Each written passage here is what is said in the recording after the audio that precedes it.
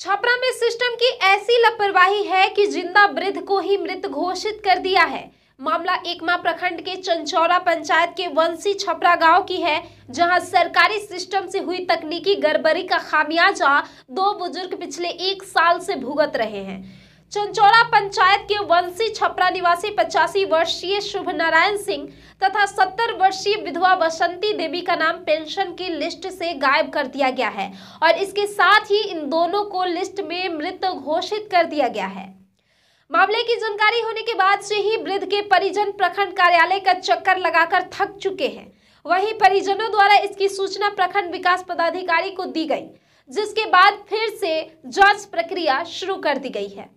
आपको बता दें कि प्रति वर्ष सभी पेंशनर लाभुकों का जीवन प्रमाणीकरण किया जाता है और इसी दौरान पिछले वर्ष इस प्रमाणीकरण के दौरान ही आईटी सहायक की लापरवाही के कारण दोनों वृद्ध को मृत वाले लिस्ट में डाल दिया गया था और दोनों वृद्ध की पेंशन पर ब्रेक लग गई।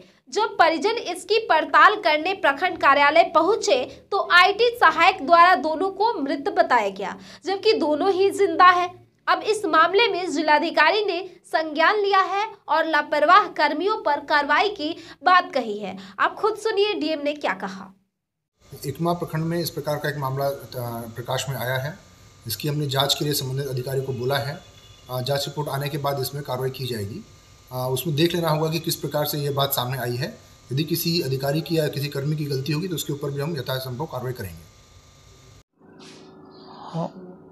हम ज़िंदा हूँ हाँ। हमको घोषित करने वाला उस प्रत्यक्ष देख ले जे हम ज़िंदा हूँ। ज़िंदा हूँ। हमारा नहीं हूँ। हम जियो तानी हाँ हाँ। पेंशन बंद हो गई बा। हम्म, हम्म। कितना दिन से? एक साल से। तो काहे नहीं के मिला लोग कहता जे मर गई। हम बानी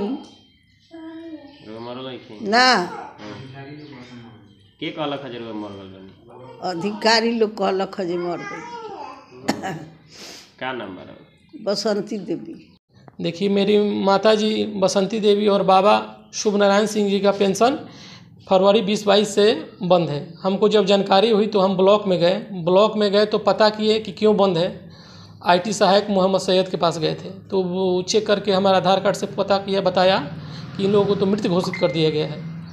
जबकि ये दोनों लोग जीवित हैं। उसके बाद हम बोले कि फिर चालू कैसे होगा? तो ये हमसे डॉक्यूमेंट्स मांगा गया। हम सारी डॉक्यूमेंट्स उपलब्ध करा चुके हैं। उसके बावजूद भी पिछले एक साल से हमको परेशान किया जा रहा है। और क्या बताया लोग? बताया लोग कि उनका उस आ, क्या कहते हैं? जो जाँच करके गया है उसमें कंप्यूटर ऑपरेटर के द्वारा गलती से उसमें मृत डाल दिया गया है। अभी भी जाँच के बाद भी जिसके कारण अभी भी पेंशन चालू नहीं हुआ है। जिसके बाद हम बी साहब को व्हाट्सएप के माध्यम से इस 22 फरवरी 2023 को हम कंप्लेन किए फ़ोन भी किए। बी साहब बोले कि हमारी जानकारी में नहीं है। सारा चीज़ हम दिए। उसके बाद हम पेपर में भी दिए।